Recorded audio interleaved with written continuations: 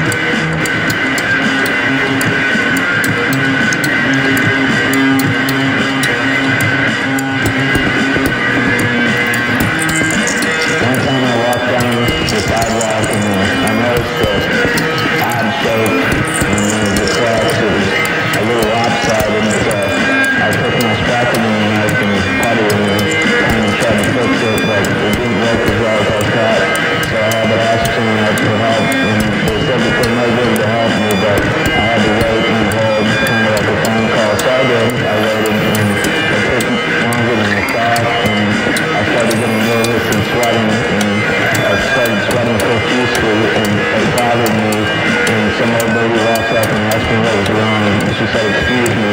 And then I, I kind of just got more nervous and I said nothing.